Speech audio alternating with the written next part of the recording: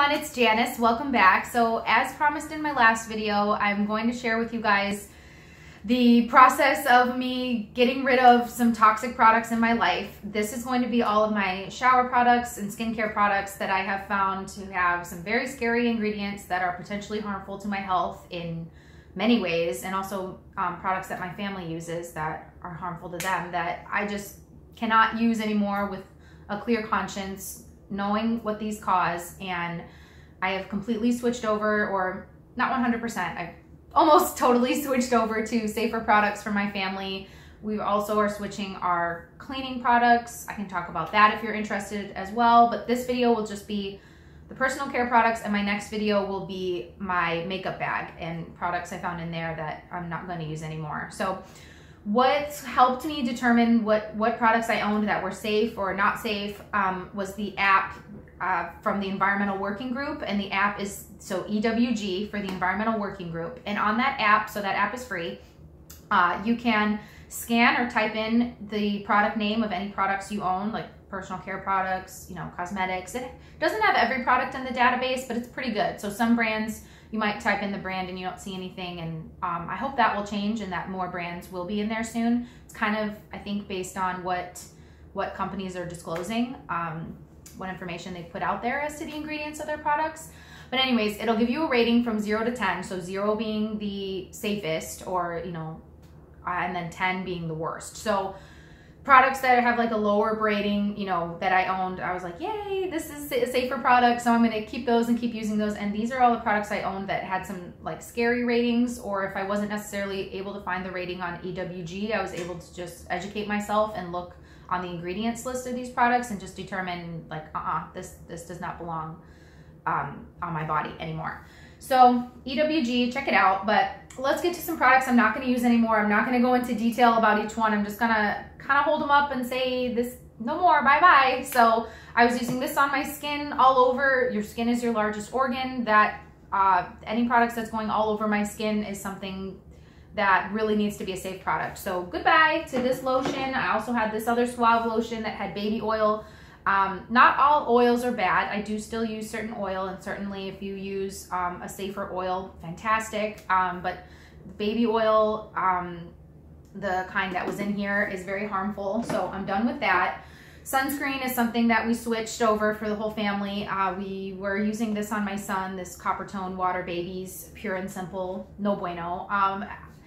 You know, I consider myself an intelligent person. We all like to think that we're smart, I think. Um, and I'm a college educated person, but I admit that sometimes I was fooled by packaging that said things like pure and simple and thought that that meant safe. Um, it's kind of embarrassing to admit that. Um, but I, you know, we don't, these brands that we think are trusted or that we've maybe been using our whole lives, we don't really want to think that they're out to get us. It also says, you know, tear free, number one pediatrician recommended brand. This this made me think this was a good choice for our family, and it, it just wasn't. So um, I can't do anything about what I've done in the past, but I, I can change what I'm doing going forward. So same thing um, with the Philosophy Purity brand. I used to really think the Philosophy brand was great. Um, I liked how they had pictures of little kids that were like super cute on a lot of their products you know, Purity Made Simple, a one-step facial cleanser. This is bad news, guys. So goodbye to that. This was a gift from my mom. Um, thanks, mom. This this was nice, but I'm not going to use it anymore. This is the KMS Color Vitality shampoo. I was using this lotion all over my baby, the Johnson's Baby Bedtime Lotion. This was full of parabens.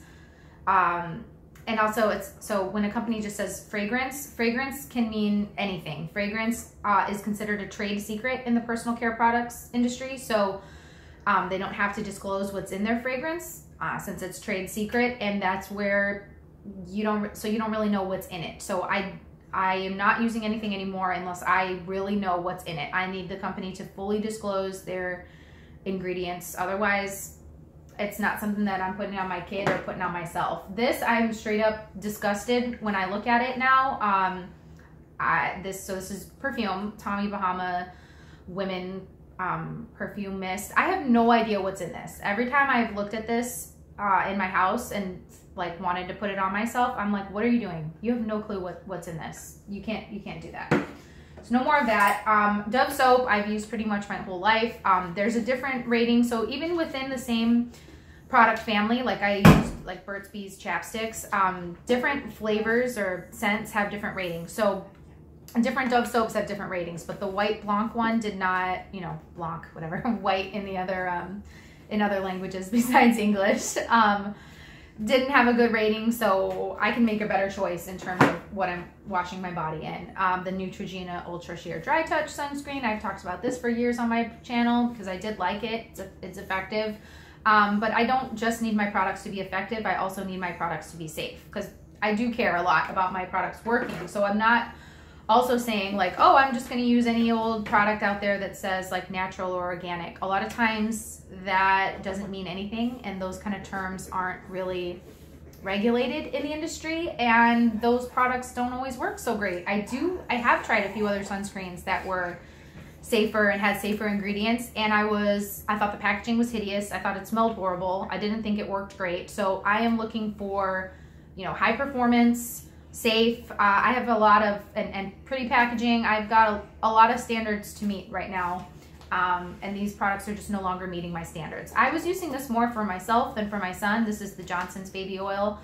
Um, no more of that for me. And also this I was not using on my son. And this is another one I'm like embarrassed to talk about, but this is the Johnson's Baby Powder. Um, I've heard how this can be like can cause cancer if it's actually there's a big lawsuit actually about it being linked to cancer if you use it um you know on your private parts and i was using this as dry shampoo i've been using this as dry shampoo for years this can't be good that can't be good putting it on my scalp so uh, i need to find a different option there no more of that for me so this was something i was like oh no i will not use this on my son this is bad news but I was using it on myself. So why, you know, I, I care about my son. I love my son so much, obviously, but it's like, why was I valuing him so high, but not valuing myself? So, you know, if you're a mom, you kind of know how that goes that, um, unfortunately, sometimes we kind of push ourselves to the wayside, but I don't, I don't want to push myself to the wayside anymore.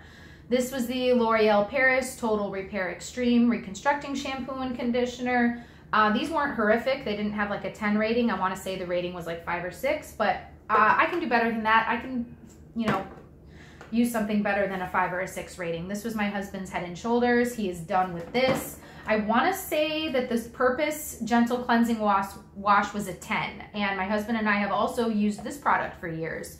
Um, and I told, and you know, again, the packaging is very misleading here. Even though it's not saying safe or non-toxic, it is saying some things that are kind of linked to those terms in my brain and makes me think this is a good product to use. For one, it has, um, you know, the clear packaging that's pretty much like a very light color. It says dermatologist recommended, soap-free, hypoallergenic, won't clog, clog, blah, clog pores, clinically shown gentle as water, gentle cleansing wash. I was like, oh yeah, let's get that um, you know, then we look at the ingredients and we look it up in on the environmental working group app and it's horrific. And this is something we were using every day. And my husband, so I was more looking up a lot of the products in our house. My husband is like, I cannot use that on my face anymore. He's like, I'm done with that. So done with that. Um, Aveda was another one of those brands that I thought was really great. I used to always um, go to that salon to get my hair done. I didn't always buy their uh, products, but sometimes I did. Oh, this is the conditioner. I don't think I was able to find their conditioner on the EWG, but I did have their the same brand, the Pure Abundance shampoo, and um, that was not good. So goodbye to that. And this I got as a gift at somebody's shower, I want to say. So this is the Olay body wash.